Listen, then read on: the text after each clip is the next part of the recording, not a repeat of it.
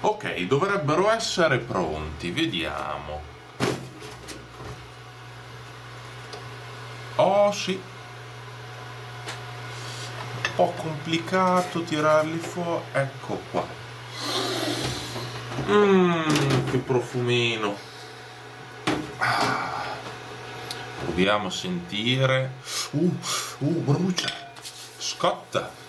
Beh dai, comunque questo fornetto direi che abbia fatto un ottimo lavoro, il biscotto si è cotto alla perfezione. Quest'oggi ragazzi vorrei proporvi un nuovo argomento che eventualmente potremmo portare sul canale, ovvero la fisica tecnica applicata alla dissipazione dell'elettronica. Questa è una materia che si studia in ingegneria e di fatto appunto ho del materiale con cui andare a fare delle video lezioni che possono diventare abbastanza interessanti, possono fungere da ripetizioni per studenti di ingegneria e possono eh, togliere delle curiosità comunque a chi, a tutti coloro a cui interessa la parte insomma teorica sulla dissipazione dei componenti elettronici. In sostanza quello che faremo è andare a fare delle ipotesi su certe condizioni di lavoro di un componente elettronico. Molto spesso parleremo di computer, quindi diremo ma prendiamo un processore con un TDP di 90 watt, l'elettronica aggiuntiva consuma 150 watt, come andiamo a scegliere il dissipatore? Qual è il dissipatore ottimale per far funzionare correttamente in condizioni ottime appunto eh, tutta la nostra elettronica in sostanza. Oltre a ciò, siccome mi sono stampato il sommario degli esercizi, andremo a vedere ad esempio la scelta di una soluzione di accoppiamento processore-dissipatore, verifica termica dei componenti di un sistema elettronico, ci sono molte cose interessanti perché poi si passa al sistema elettronico con dispositivo di raffreddamento liquido e quindi possiamo vedere se effettivamente da dissipazione senza una soluzione a liquido si hanno prestazioni più o meno uguali, se migliore una dissipazione senza il dissipatore liquido oppure con il dissipatore liquido. In ogni caso noi per il momento vi condivideremo questo video, se vi piace l'argomento lasciateci assolutamente un like che ci serve come feedback e nel caso in cui insomma raggiungessimo un buon numero di like, un buon numero di visualizzazioni, è il segnale per noi per continuare appunto questa serie di video. E quindi adesso torniamo alla classica introduzione di ogni video, quindi ciao a tutti, io sono Daniel e bentornati sul canale di Progetto e quest'oggi andremo a fare un esercizio di fisica tecnica eh, che si basa sulla scelta di un dissipatore. Allora vi leggo il problema così ci facciamo un quadro generale della situazione, poi andiamo a scrivere i dati e andiamo a risolverlo. In sostanza il problema dice questo, i dispositivi di areazione interna di un cabinet per apparecchiature elettroniche elettroniche assicurano una portata di 1,2 metri quadri su minuto. Questo in sostanza è il flusso d'aria che entra e che esce dal cabinet. Quindi per misurare la massa d'aria che nel tempo passa all'interno del cabinet si utilizza l'unità di misura metri cubi al minuto. Metri cubi al minuto, in sostanza è un'unità di misura che ci serve a dire quanta aria passa all'interno del nostro cabinet, quindi volume fratto tempo. Nel cabinet sono alloggiati un microprocessore che assorbe fino a 21 watt elettrici, vabbè, e dispositivi di vario tipo che assorbono complessivamente altri 140 watt. Quindi se volete andiamo a scriverci un attimo ad esempio i dati, scriviamo V che è uguale a 1,2 metri cubi al minuto e se lo andiamo a dividere per 60 perché così lo mettiamo in secondi otteniamo 0,002 ehm, no 0,02 eh, metri cubi al secondo. Poi scriviamo Q, che è il calore eh, scambiato dal microprocessore, QMP, che è uguale a 21 watt. E infine, in base ai dati che abbiamo detto finora, l'altra elettronica, quindi Q altro, è uguale a 140 watt, abbiamo detto. Ora il problema ci chiede di individuare il più conveniente tra due dissipatori di calore a superficie allettata che abbiamo a disposizione, le cui caratteristiche sono illustrate nel seguito, sapendo che il microprocessore, che è il componente più critico, presenta temperatura massima ammissibile a 90 gradi e superficie di scambio termico di un centimetro quadrato e che la resistenza di contatto tra il dissipatore e il microprocessore è riferita all'unità di superficie pari a un centimetro quadrato per grado su watt. Quindi scriviamo e prendiamo una variabile che ci dà appunto il limite T microprocessore ehm, max che è uguale a 90 gradi. Se andiamo sopra i 90 gradi possiamo buttare via il nostro processore, più o meno.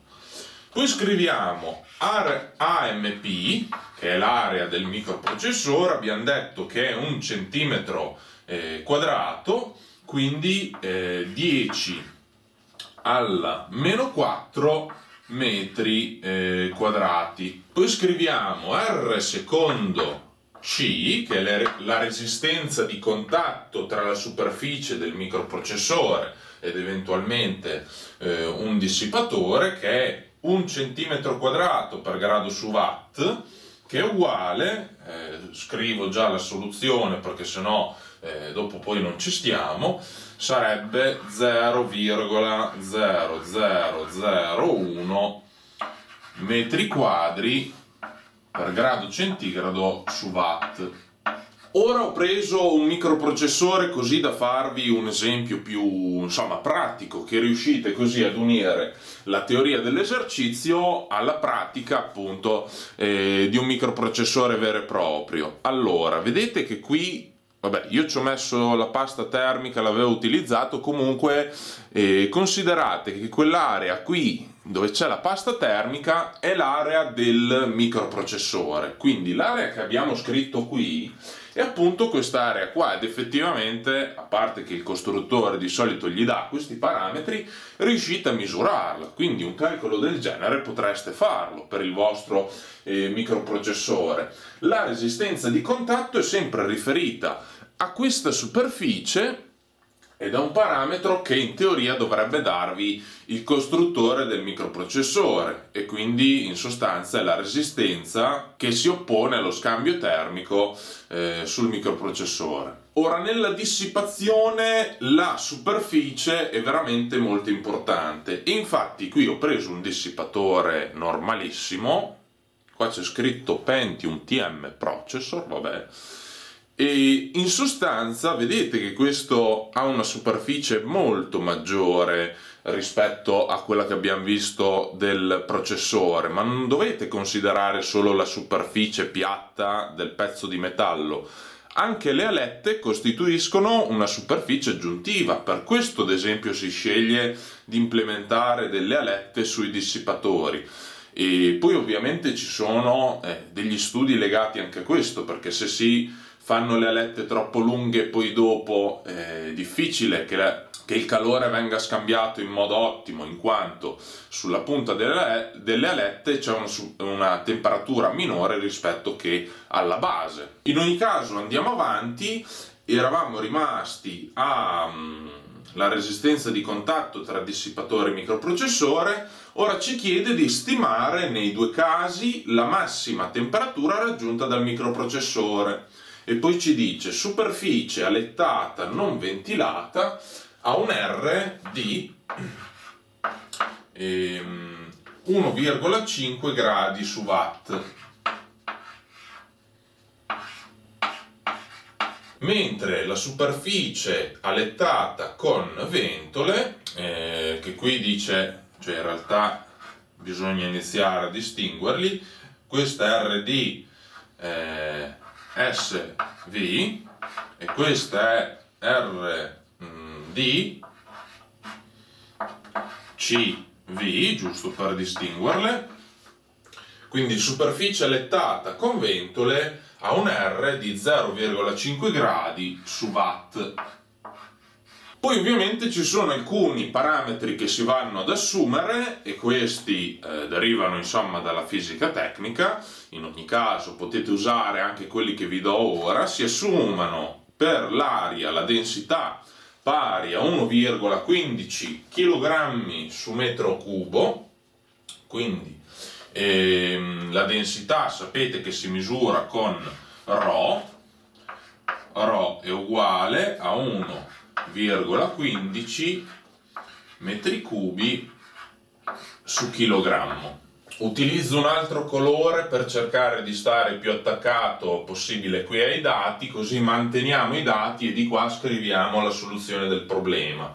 Allora, calore specifico a pressione costante pari a eh, 1007 joule su chilogrammo grado centigrado, quindi C eh, minuscola ovviamente è 1007 joule su chilogrammo grado centigrado e temperatura nell'ambiente esterno compresa tra i 15 e i 30 gradi. Anche la temperatura esterna vedremo che è importante. Quindi scriviamo Tamb min che è uguale a 15 gradi e Tiamb max che è uguale a 30 gradi, ok? A questo punto il problema ci chiede di determinare la temperatura massima raggiunta eh, dal microprocessore nelle due configurazioni indicate. Quindi le due configurazioni sono date o dalla superficie allettata non ventilata o dalla superficie allettata con ventole. Come ipotesi si assume che l'aria sia un gas ideale. Allora andiamo a risolvere questo problema. In sostanza il problema si risolve nel valutare la massima temperatura che l'aria può raggiungere nel cabinet e a partire da questa la massima temperatura raggiungibile dal microprocessore in funzione del tipo di dissipatore impiegato. Quindi noi partiremo dalla temperatura dell'ambiente, andremo a vedere una volta che l'aria entra nel cabinet a che temperatura arriva, volendo se abbiamo la temperatura ambiente di 30 gradi, mettiamo che all'interno del cabinet per via della dissipazione elettronica arrivi a 35-40 gradi, e poi questa temperatura qui ovviamente si riversa sul microprocessore. Il cabinet costituisce un sistema aperto con un ingresso e un'uscita, soggetto ad un flusso stazionario di un fluido. La massima temperatura al suo interno può essere stimata a partire dall'equazione di bilancio dell'energia. Quindi ora separo semplicemente i dati dalla soluzione e andiamo a scrivere l'equazione di bilancio dell'energia, quindi Q meno L che è uguale a M H2 meno H1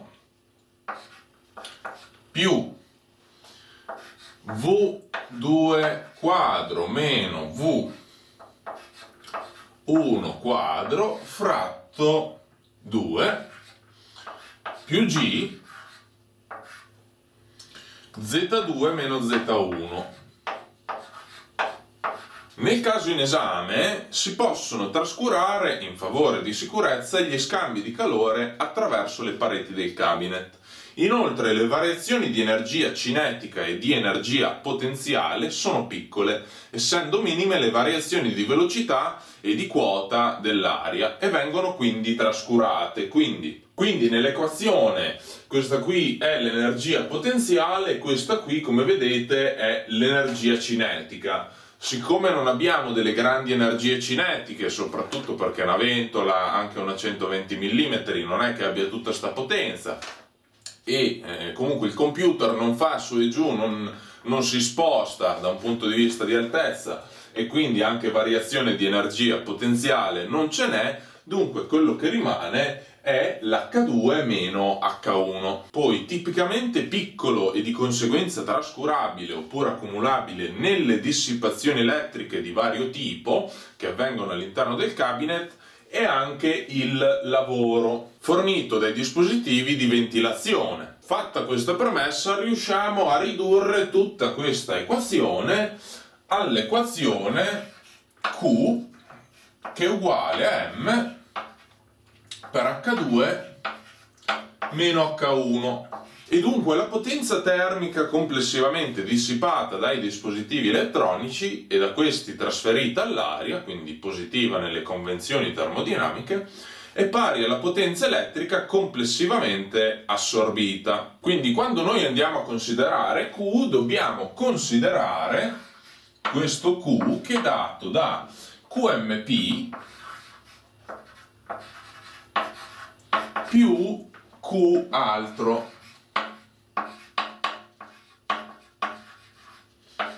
E dunque 21 watt più 140 watt sono 161 watt. Ora dobbiamo andarci a calcolare la portata, quindi M col pallino sopra, spero che si veda, è la portata. La portata massica, ovviamente, perché c'è la portata volumica e la portata massica. Questa è la portata massica.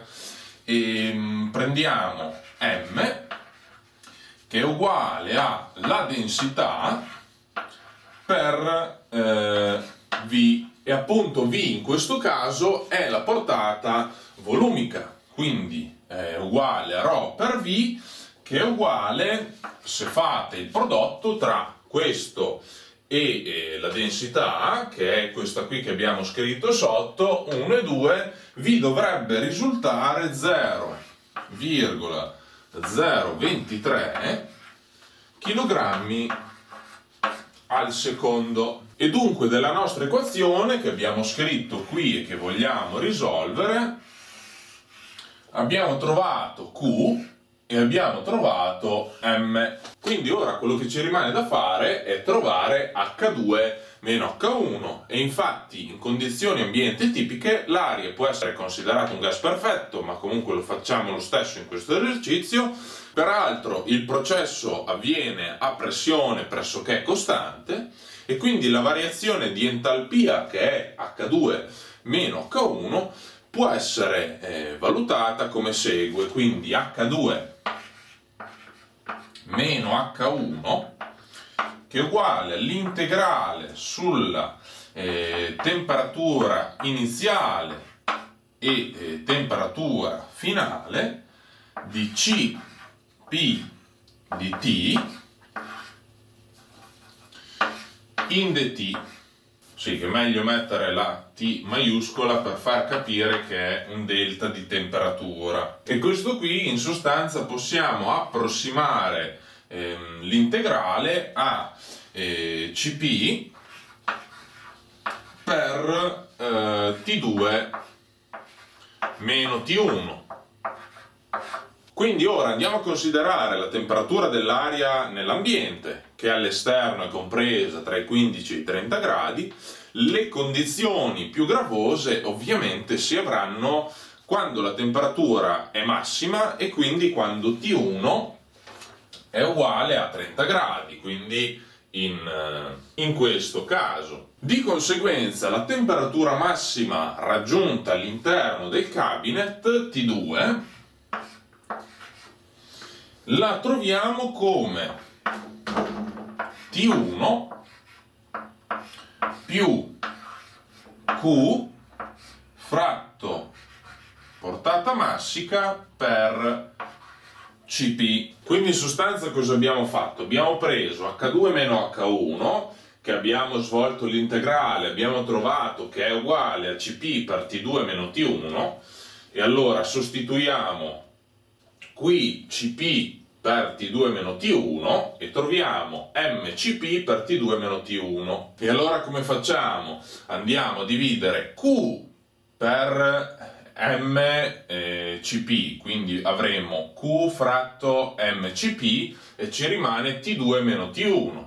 Dunque T2 qui è già ehm, diciamo positivo, non ha il segno meno davanti, quindi spostiamo T1 dall'altra parte e troviamo appunto T1 più Q fratto MCP. In ogni caso, svolgendo i calcoli, troviamo che qui T2 è 37 gradi. Quindi in sostanza T2, come ho detto credo anche prima, è la temperatura massima raggiunta all'interno del cabine. Ora vado a riscrivere in blu i dati che abbiamo trovato, quindi ad esempio eh, qui T2 che è uguale a 37 gradi, eh, eventualmente ci eh, salviamo la portata massica che è uguale a 0,023 eh, kg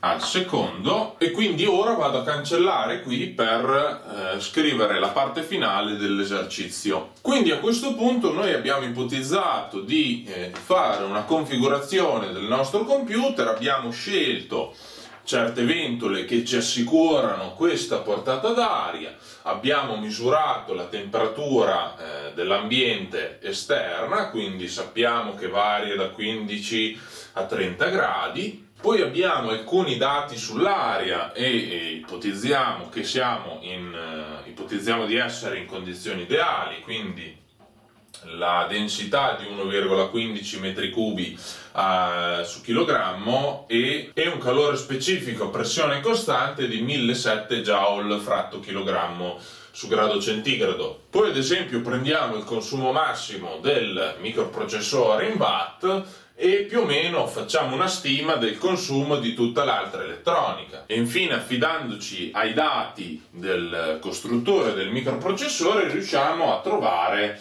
ad esempio l'area, la resistenza di contatto, eccetera, eccetera. Una volta che ci siamo calcolati eh, tutti i dati che ci servono, quindi ad esempio la portata massica, la temperatura massima all'interno del case del computer, cosa facciamo? In sostanza, dati la temperatura massima dell'area di raffreddamento, che è purtroppo T2, che sono 37 gradi, e il dissipatore di calore con la sua resistenza RD, la temperatura del microprocessore in condizioni di carico massimo può essere valutata mediante eh, l'analogia elettrotermica. Quindi la temperatura del microprocessore sarà uguale a T2 più RC, la resistenza di contatto, più RD, resistenza tra eh, il dissipatore e il microprocessore. Tutto questo moltiplicato per il Q del microprocessore, quindi non il eh, Qmax, chiamiamolo così, quello dato dalla somma delle due componenti. Noi in questo caso, siccome stiamo considerando la dissipazione, quindi la temperatura del microprocessore, eh, ci serve solo eh, il consumo termico del microprocessore. Allora, la resistenza di contatto RC noi non ce l'abbiamo, abbiamo R secondo C. Per ricavare RC, in sostanza, dobbiamo dividere R secondo C per l'area del microprocessore e dovremmo ottenere qualcosa come un grado, un grado centigrado su watt, che per i calcoli non è assolutamente male. In definitiva, la temperatura massima raggiungibile dal processore accoppiato al dissipatore senza ventole sarà pari a T MPA che è uguale a T2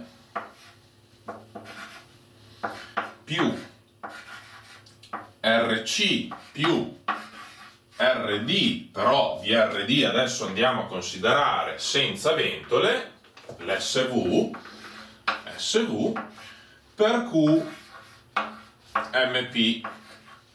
Se andiamo a svolgere i calcoli troviamo che qui la temperatura del microprocessore per svolgere i calcoli intendo soltanto sostituire dei numeri perché T2 è 37 gradi, RC l'abbiamo trovata qui che è un grado eh, centigrado su eh, watt, l'andiamo a sommare a RDSV che è questa qui e la moltiplichiamo per QMP che è questo qui, quindi è molto semplice, otteniamo 89,5 gradi centigradi che mm, non è che sia un, un, ottimo risultato. Se invece andiamo a impiegare il dissipatore con ventola, la temperatura massima raggiungibile dal mm, microprocessore, in sostanza cosa dobbiamo fare? Dobbiamo cambiare solo questo termine che sarà TMP eh, caso B che è uguale a T2 per eh, no, T2 più eh,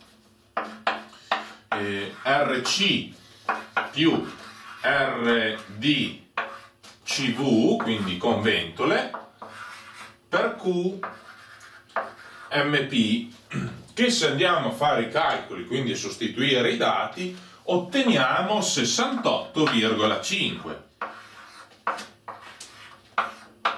Quindi da un calcolo, cioè in realtà eh, questi calcoli sono importanti quando eh, si vanno a costruire ad esempio dei data center. Sicuramente non vanno eh, sui, sui, negozi di elettronica e dicono ma prendiamo questo dissipatore, prendiamo... ma questo è un po' più bello. Ovviamente eh, bisogna mettersi a fare dei calcoli e valutare insomma quale sia la scelta più conveniente. Vedete che qui cioè da una dissipazione, qui abbiamo semplicemente tolto la ventola, arriviamo a 89,5 gradi. Vedete che qui la temperatura massima del microprocessore è 90 gradi, ovviamente noi siamo sotto, eh, quindi potrebbe andare bene, ma stiamo andando al limite eh, possibile della macchina, cioè se superiamo i 90 gradi eh, sappiamo che eh, il processore dopo potrebbe non andare più e se noi consideriamo che abbiamo valutato la temperatura ambiente massima a 30 gradi, naturalmente se questa eventualmente aumentasse, aumenterebbe anche T2 e di conseguenza anche questa temperatura qui, quindi non abbiamo margine con questa scelta.